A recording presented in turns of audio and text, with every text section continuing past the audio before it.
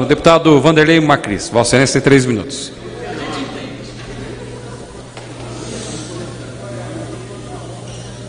Senhor presidente, nobres senhores deputados, eu gostaria de primeiro cumprimentar o prefeito Bill de Nova Odessa e também a presença do senhor Ricardo Ôngaro, da Companhia de Desenvolvimento Nova Odessa. Meus cumprimentos pela visita ao nosso parlamento. Mas, senhor presidente, senhores deputados, eu gostaria também de falar um pouco sobre os projetos de São Paulo.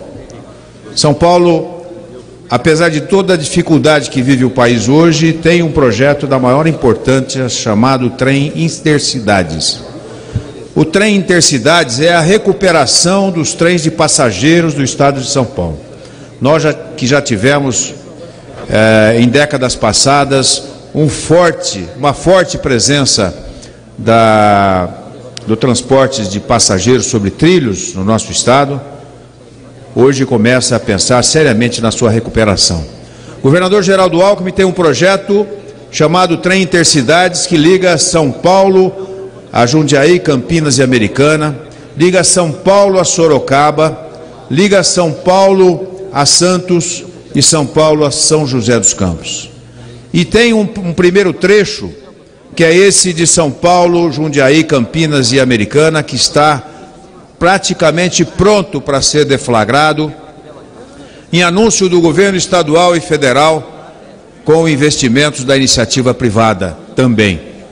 Uma concessão que se pretende fazer juntando o governo federal, o governo estadual, as concessionárias que já se utilizam para transporte de carga sobre trilhos naquela região podendo compartilhar a, a, a malha ferroviária, e esse compartilhamento já é um projeto que está absolutamente amadurecido para que ele possa ser anunciado.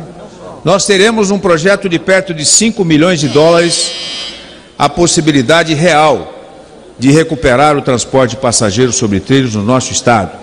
Portanto, eu gostaria de cumprimentar aqui o governador Geraldo Alckmin, que estará comigo no próximo dia 28 às 15 horas com o governador de estado acompanhando do presidente da Assembleia de São Paulo com o presidente da República, presidente Michel Temer. Muito provavelmente, com as amarras feitas desse projeto, nós haveremos de dar um passo significativo para que ele seja concretizado.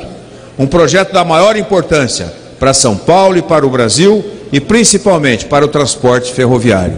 A população daquela região, na ligação com São Paulo, haverá de ter um transporte não de alta velocidade, como foi essa megalomania, megalomaníaca ideia do governo passado, mas um transporte de trem de média velocidade, capaz de transportar com, seria, com tranquilidade e com tranquilidade para concluir, senhor presidente, e com muita segurança a população que faz com milhões de pessoas que irão se utilizar desse transporte sob trilhos naquela região. Portanto, meus cumprimentos ao governador Geraldo Alckmin, ao governo federal que está recuperando numa negociação que envolveu todos os entes da federação, do Estado de São Paulo, das concessionárias, a possibilidade real de recuperação do transporte de passageiros na nossa região.